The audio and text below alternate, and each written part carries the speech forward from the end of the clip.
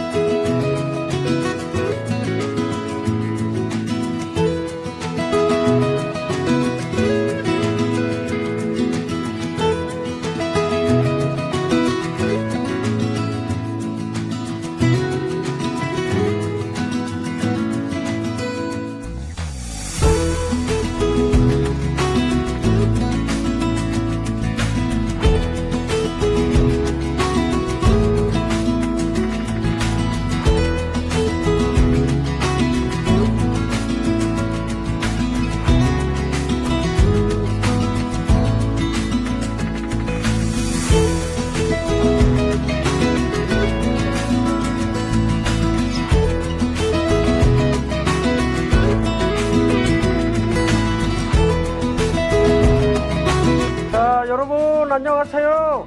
우리 사랑하고 존경하는 대울농협 수도자 588 농가 여러분, 올 한 해 동안 농사 지으시냐고 너무 고생 많으셨습니다. 근데 여러분 아시다시피 세계는 국경이 없는 그러한 물류 이동으로 인해서 치열한 경쟁을 하고 있습니다.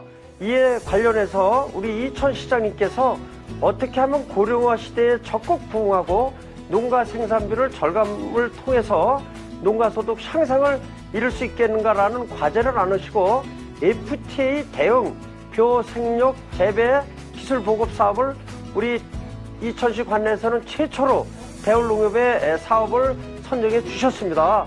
그래서 송라리 지역을 중심으로 해서 어, 무인 자동 어, 주행 이항기를 비롯해서 무인 포트론 그 다음에 또 어, 여러 가지 예, 우리 또 드론으로 직파도 하고요 드론으로 방제도 하는 등등 획기적인 사업을 하였습니다. 어, 자동화 물꼬를 비롯해서 여러 가지 사업을 했는데요.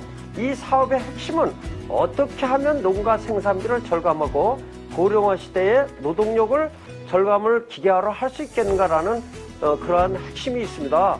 따라서 내년도 대울농협에서는 두문물을 적극적으로 우리가 확대 재배해서 한마지기 200평에 7판에서 10판으로 획기적인 에, 우리 생산비를 절감토록 하고요.